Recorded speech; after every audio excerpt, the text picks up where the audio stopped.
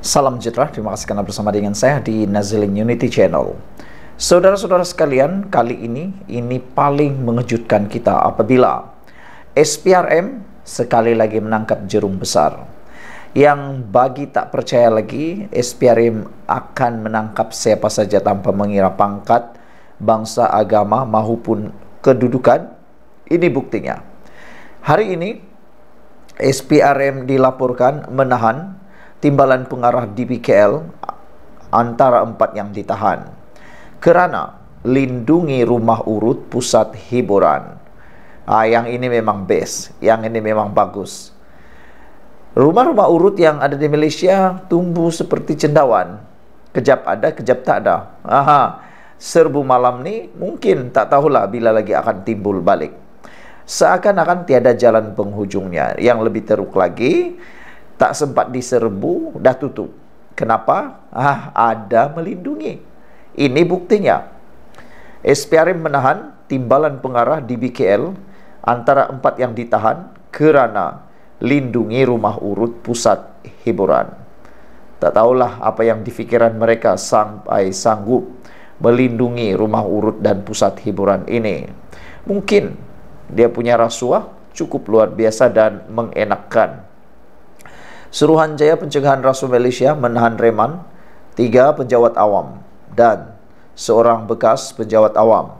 Kerana dipercayai menerima rasuah secara bulanan daripada aktiviti premis perniagaan haram di sekitar ibu negara. Timbalan pengarah di Dewan Undangan uh, Dewan Bandaraya Kuala Lumpur DBKL berusia pertengahan 40-an itu dipercayai adalah suspek utama sehingga disyaki menerima rasuah antara RM100,000 hingga RM500,000 secara bulanan. Daripada sindiket rumah urut, pusat hiburan serta premis yang tidak berlesen. Patutlah sanggup membelakangkan negara. Uang habuan yang didakwa diterima bukan alang-alang, bukan calang-calang RM100,000 sebulan hingga RM500,000 sebulan. Ini kalau dapat dua bulan sejuta. Wah, luar biasa. Ini yang namanya sakau sini sana. Ini yang namanya lintah yang tak berhenti-henti. Sumber berkata, selain timbalan pengarah terbabit, dua lagi penjawat awam yang ditahan adalah anggotanya serta seorang anggota agensi penguat kuasa.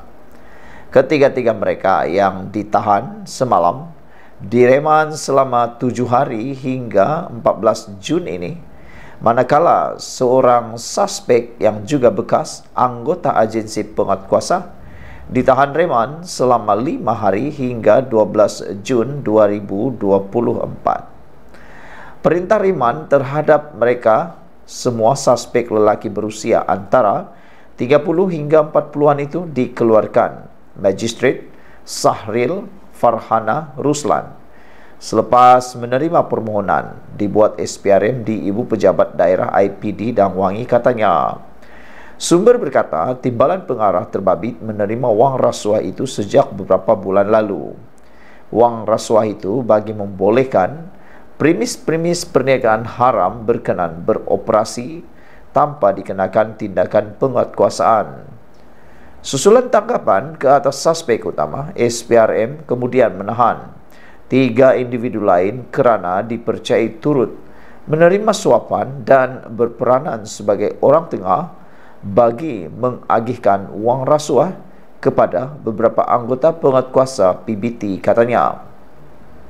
Menurut sumber itu lagi, menerusi tangkapan ini, SPRM turut menyita wang tunai lebih RM200,000 selain barang kemas dan 28 keping wafer emas yang belum dikenal pasti, anggaran, nilai dan beratnya.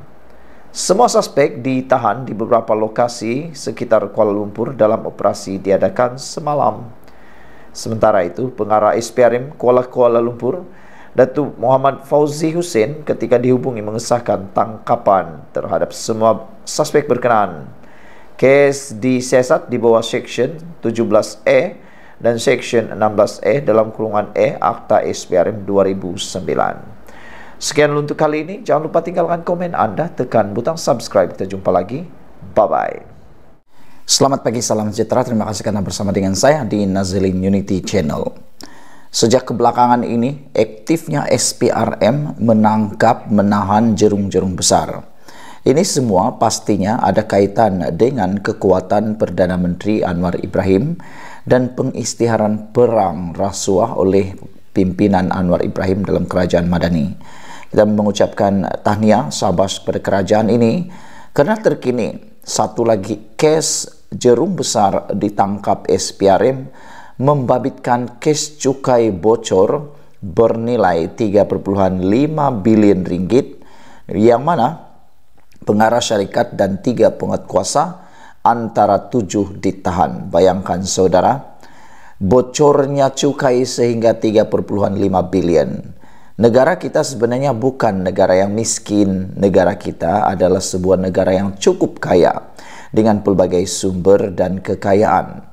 Namun demikian tindakan sebilangan jerung-jerung besar yang tamak halubah yang tidak pernah bersyukur dan cuba pula mengelak cukai menyebabkan negara kita negara yang jauh ketinggalan berbanding negara-negara lain kerana adanya ketirisan-ketirisan seperti ini. Belum cakap lagi tentang rasuah dan sebagainya.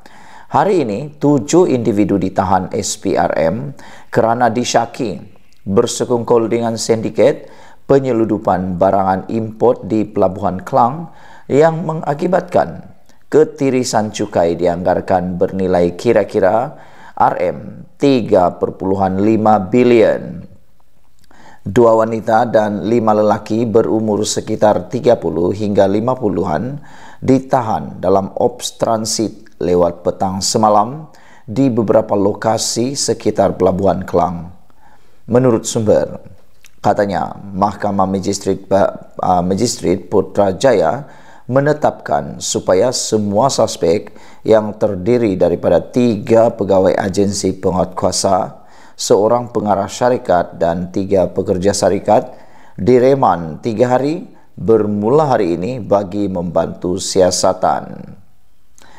Sindiket ini dipercayai membuat pengistiharan palsu dalam borang kastam bagi mengelak dikenakan cukai dan pengimportan barangan yang memerlukan permit daripada beberapa agensi seperti Suruhanjaya Tenaga ST dan Jabatan Perkhidmatan Kuarantin dan Pemeriksaan Malaysia.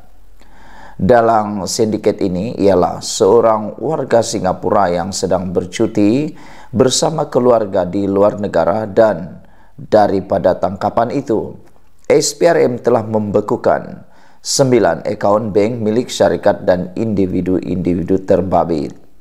Kemarin, operasi SPRM bersama Jabatan Kastam Diraja Malaysia telah berjaya menahan 19 kontena yang mengandungi pelbagai barangan import membabitkan anggaran kasar termasuk cukai berjumlah kira-kira 10 juta ringgit.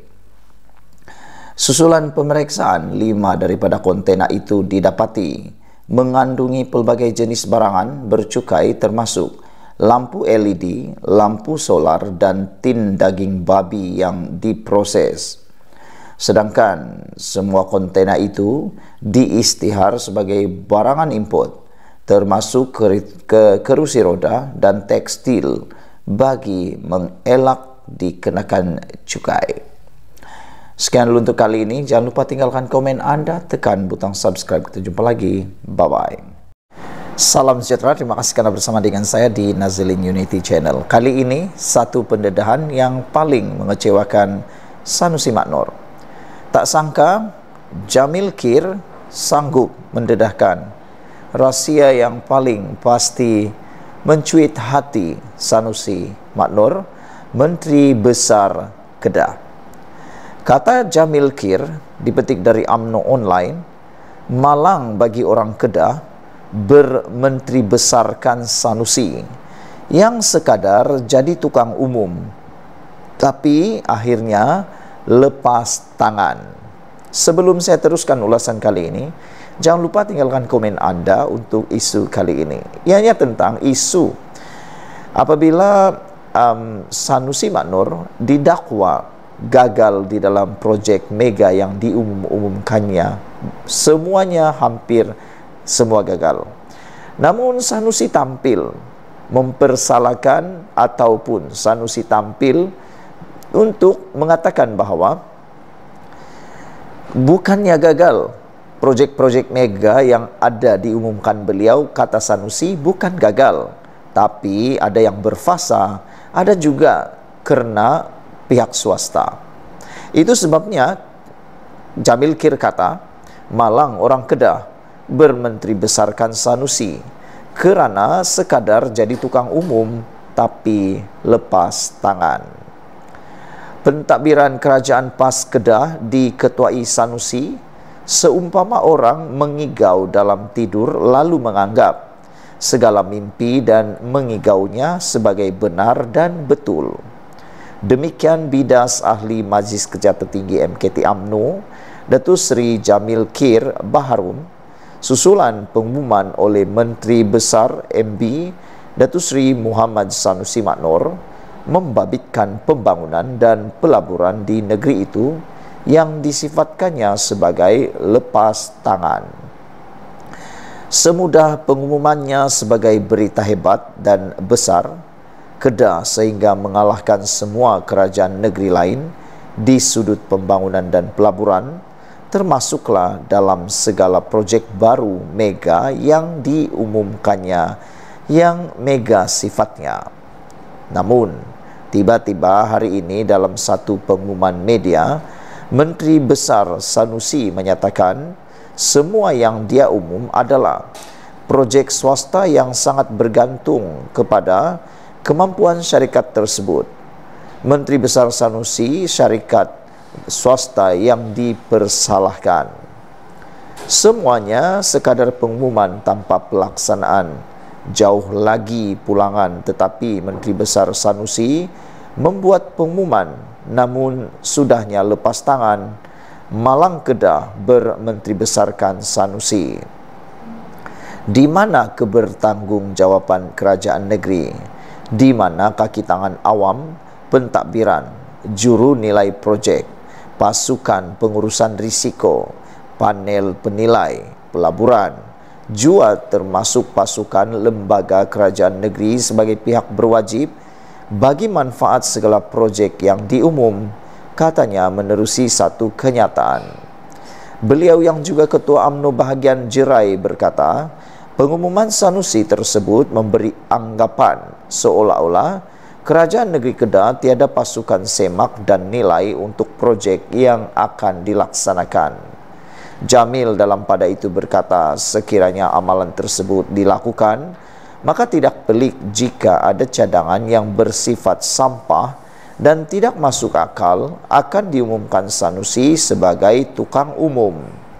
Soalnya, mampukah rakyat Kedah hidup dengan menteri besar yang sekadar tukang umum tetapi lepas tangan atas apa yang menteri besar umumkan bahkan menyalahkan pihak swasta? Soal air yang tiada bekalan, soal pelaburan, pembangunan yang gagal, sekaligus menutup peluang pekerjaan. Soal stadium yang sekadar mimpi di siang hari. Soal litar lumba di Sungai Petani dan Langkawi. Soal Kedah Rubber City. Soal pembangunan mega di Langkawi. Soal loji air Kedah. Soal pelabuhan baru di Sanglang. Soal pembangunan Pulau Bunting. Soal Nadir Bumi Sik dan Baling, ujar beliau. Saudara-saudara sekalian, itulah dia perkara yang paling menggemparkan kita daripada Jamil Kir, malang orang Kedah bermenteri besarkan Sanusi sekadar jadi tukang umum tapi lepas tangan kata Jamil Kir. Sekian untuk kali ini, jangan lupa tinggalkan komen anda, tekan butang subscribe. Bye-bye.